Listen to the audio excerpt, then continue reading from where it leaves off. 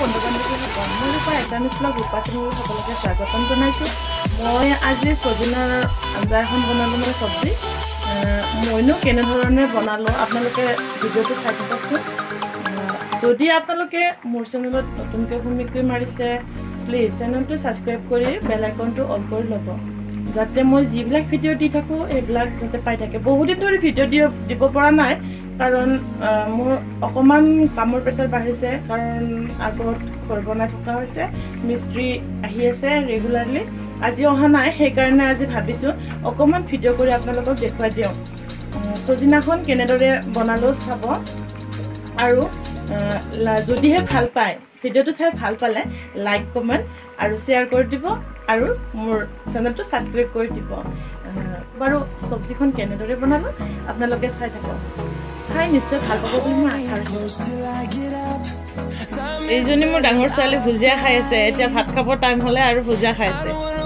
একদম ভোক লাগিছে বোলে। খাই দে মা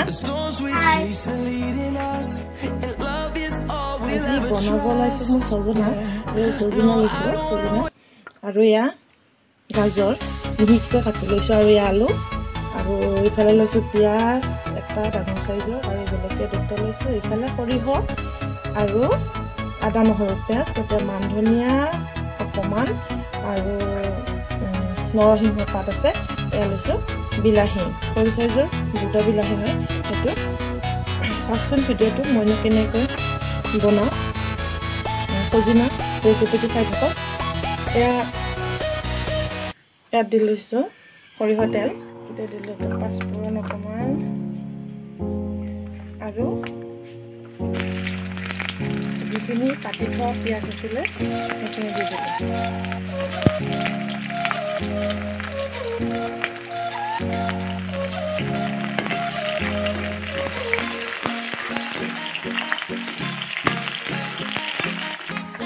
মই ইয়াত দিলোঁ সৰিয়হৰ আৰু আদা নহৰু পেষ্ট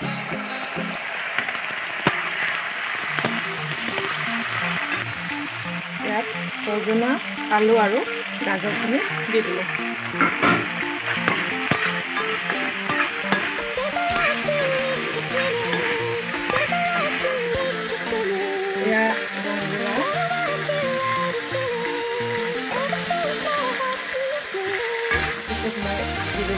কাটি লোৱা বিলাহী।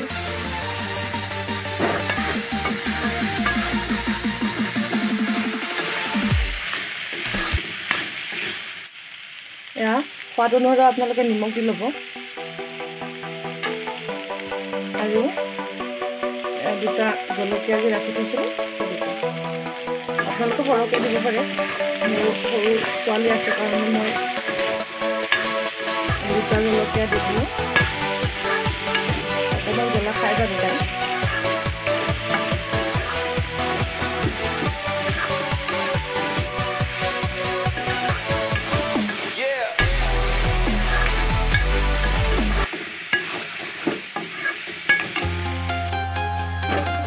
এতিয়া মই অকণমান ঢাকন লগাই দিলোঁ ছজিনাখন বাৰু কেনেকুৱা হয়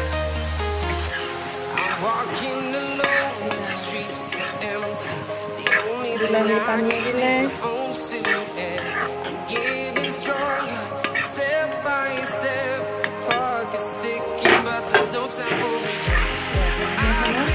পানী কৰিব ইয়াত গৰম পানী অকণমান দি দিলোঁ